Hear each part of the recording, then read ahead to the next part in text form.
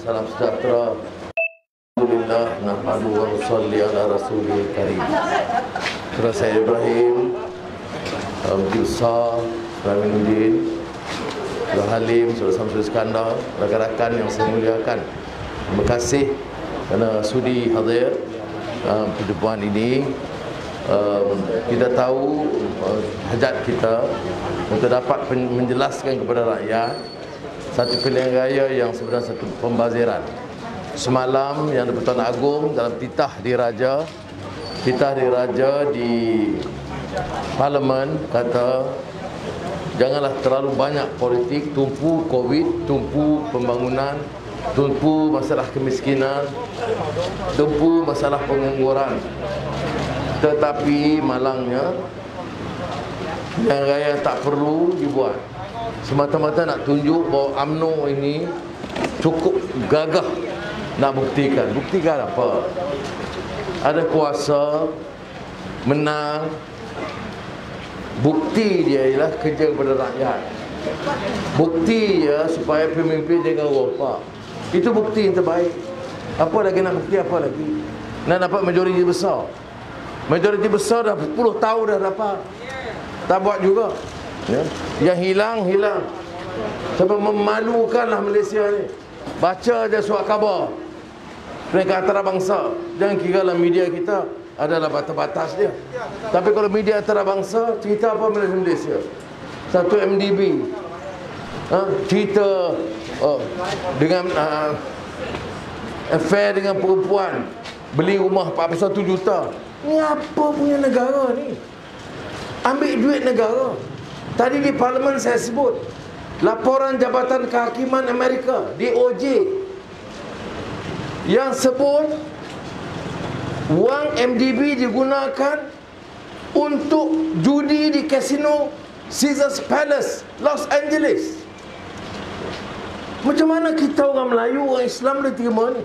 Orang Cina. Kalau nak judi, jangan curi duit kerajaan judi, betul tak? You nak judi, you punya pasal. Itu personal. Ini you ambil duit, you tahu dia pergi kasino di uh, Caesars Palace, Los Angeles. Dia kena ada rekod Bukan dia credit card Tapi kena ada bank account. Bank account tu ditrace oleh Department of Justice United States Kepada account 1MDB Nama Reza Aziz. Anak di Datuk Sin Najib. Saya selalu elak ni sebenarnya Saya kempen ni kali dah Tiga kali, empat kali di Johor Saya tak sebut hal ni Saya sebut ini Kerana macam rakyat terpukau Ni Pak Lebay, Pak Haji pun ikut sama. Apa dia ni? Uang orang guna wang negara bayar untuk judi. Wang negara bayar untuk main perempuan, hadiah ke perempuan 41 juta. Ni rekod di mahkamah New York. Sebab apa kita masih nak sokong lagi? Bagi dia pengajaran, jangan dianggap rakyat ini bodoh. Sebab itu di parlimen tadi saya baca hadis riwayat Abu Hurairah dari Ibn Majah yang mengatakan tentang ni kisah arwah arwah bay baydah. Jadi orang tanya Rasulullah, apa dia arwah baydah? Ruah baydah ini adalah fi'il negara yang sudah kelang kabut. Orang bodoh diangkat. Menjaga hak awam. Orang yang menipu diangkat. Orang kianat diangkat Ini hadis Rasulullah SAW Sebab itu pujangga Jawa Rongga Warsito Sebut tentang zaman edan Bila hadapi zaman edan Kita harus iling lawan waspada Beringat dan waspada Dalam kepilihan raya ini Beringat dan waspada Jangan ditipu lagi Jaga rakyat Ini bukan masalah Melayu Mesti lawan orang Cina Bukan orang Cina pukul orang Melayu. Ini masalah rakyat harus dibela. Majoriti orang di, di Johor ni orang Melayu juga. Jadi kita gunakan kuasa untuk jaga rakyat.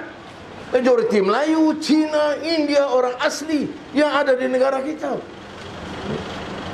Jadi orang kata oh, orang tak peduli. Saya tidak tahu Apakah benar orang Johor tak peduli tentang rasuah? Dia kata kadang dia dapat sedikit. Saya tak setuju, saya tak percaya. Dia tak peduli kerana maklumat tak sampai. Tugas kita adalah menyampaikan maklumat. Senang tidak, mudah tidak. Tetapi apa pilihan kita kalau kita nak selamatkan negara ini? Saya di parlimen tadi saya tak pertahankan. Walaupun ada beberapa kelemahan Pakatan Harapan. Perdana Menteri semalam jawab soalan saya, dia kata masa PH dia sindir pun ada dakwa terpilih. Orang dia rasuah tutup. Orang UMNO rasuah tangkap. Saya kata ke Perdana Menteri Ismail, saya tak peduli. Ada kes siapa pun rasuah, kamu ambil tindakan. Itu pilihan kita. Dan tak terlambat sekarang pun boleh ambil. Bukan negara ada kuasa. Ha, ini keadaan dia. Tapi kalau di Johor apa masalah dia? Masalah majoriti dalam kerajaan ada. Masalahnya pengangguran, pekerjaan, ekonomi. Orang yang di Singapura boleh balik, kita boleh kerja di Singapura. Anak muda yang menganggur. Rumah tak cukup terutama di selatan Johor. Kemudian pembangunan pun tak seimbang. Di kawasan selatan, selatan Johor, baik. Di Johor Tengah, Johor Timur, tak membangun.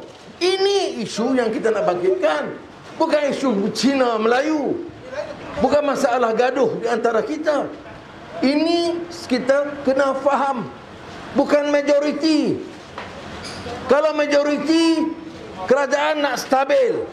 Kerajaan mesti ada majoriti. Stabil dan majoriti untuk apa? Untuk samun. Untuk ambil balak lagi. Untuk ambil tanah lagi. Untuk kayakan pemimpin. Bukan itu maksud kita. Jadi saya harap kawan-kawan kita Melayu, Cina, India harus bangkit. Ya. Janganlah kerana satu dua kes kecil-kecil dulu itu dijadikan masalah. Ya. Saya tak terlibat dalam kerajaan dulu lah tetapi saya akui masa Pakatan Harapan ada beberapa perubahan yang cuba dibuat tapi masa itu Perdana Menteri Tuan Mahathir buat macam mana tak apalah sekarang ini kita mau mula dengan Johor selamatkan rakyat bangunkan isu bagi rakyat harga barang Tadi saya sebut harga cili, harga bawang merah semua jadi masalah. Kerajaan kata ini masalah dunia, harga dunia. Kalau harga dunia kamu jadi pemimpin buat apa? Ha? Takkan jadi pemimpin dia jawab masalah dunia. Pasaran dunia. Jadi kamu kerja apa sebagai menteri gaji 70 80 ribu ni? Ha, ini dia kena cari jalan selesaikan. Sebab itu bila bila saya sebut banyak tempat Bila Perdana Menteri Bila kita duduk unding Oh dia apa kata okey okey Anwar Kita angkat you status Menteri Dia ingat saya macam orang lain Okey Bagi pejabat Okey Pejabat di parlimen lah. Kemudian bagi Allowance RM50,000 Semua sekali Kereta dua biji. Saya tolak. Saya jawab tiba, Ucap terima kasih. Tapi saya tolak. Sebab Kalau saya terima Macam mana nak datang di Gambir ni? Nak kempen. Malulah saya. Nak kata saudara Sokong Naim. Dia calon terbaik. Kemudian orang kata Kamu Anwar serupa aja. Cakap berdegar-degar. Bila orang bagi RM50,000 Kamu sapu Sebab tu saya tolak. Orang lain terima Dia jawab. Bila dia datang Saudara harus tanya. Tak cukupkan duit lagi.